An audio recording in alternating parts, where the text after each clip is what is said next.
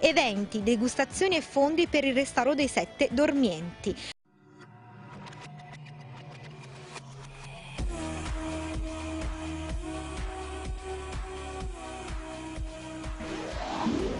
serata all'insegna della cultura d'Angri con lo spettacolo di Gianluigi Esposito per cercare di sensibilizzare gli angresi per la restaurazione delle statue dei sette dormienti ad Angri.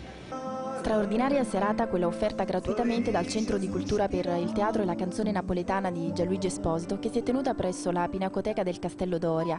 Un'iniziativa lodevole con l'obiettivo di una raccolta fondi da destinare al restauro dei sette santi dormienti. L'appello per un risveglio artistico dell'opera è stato lanciato dall'associazione Panacea che si occupa del recupero dei beni artistici e culturali della città di Angri.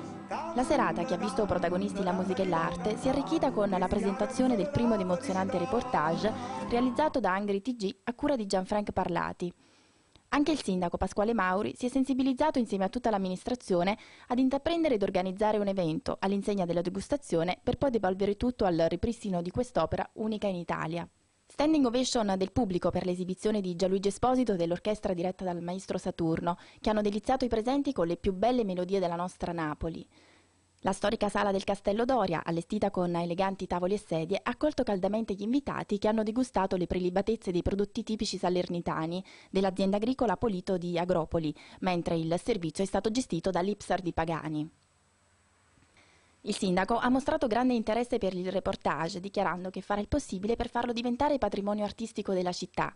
Un'altra cosa è di vedere come farlo diventare patrimonio comunale dell'amministrazione, quindi ho già ho parlato con qualcuno per verificare quali sono i percorsi da seguire per farli eh, diciamo, entrare nella proprietà della nostra città. Tutto quello che ha detto il professore era stato prodotto su questo video da Gianfranco, purtroppo per disguidi tecnici non è stato possibile, però credo che anche se a bassa voce il professore vi ha fatto capire un po' L'assessore Anna Maria Russo, invece molto attenta e sensibile all'iniziativa, ha detto che presto si organizzerà un'altra serata in cui sarà proiettato il reportage per renderlo visibile ai cittadini. Sì, per proiettare questo e vedere la storia, tutta la storia dei sette dormienti.